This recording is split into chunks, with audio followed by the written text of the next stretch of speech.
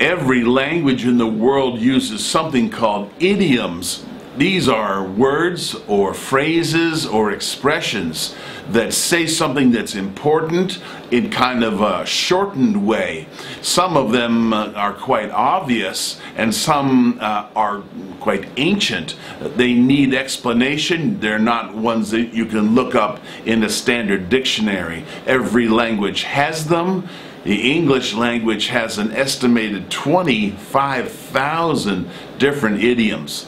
I noticed it in my business life that there were some that were used more often than others. So we're going to talk about some of those common idioms, these expressions that you can learn and use to make your English clearer or more memorable or to communicate a thought to your friends or your colleagues. Today especially, we're going to talk about baseball.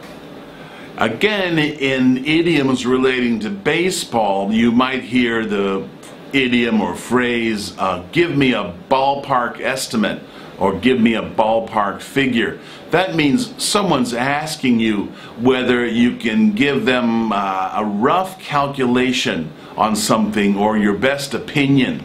The reason this comes from baseball is a baseball stadium is called a baseball park.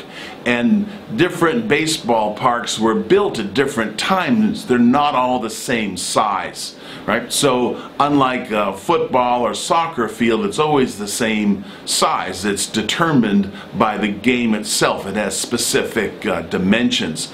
But baseball parks can be different sizes depending on whether there's some of the old ones or some of the new ones. So you each ballpark is the different size. So you can have to use this uh, idiom when describing something that's a rough calculation.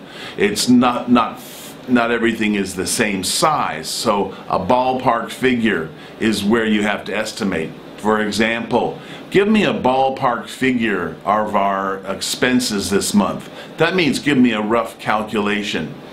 Uh, it also can come from a ballpark figure, meaning there are specific seats in a baseball park, but some people also will buy a ticket or and stand and watch. So you don't know exactly how many people are in the baseball park or in the park to watch uh, one a baseball game. So a ballpark estimate is this general idea or general calculation or estimate of something you're doing or a number.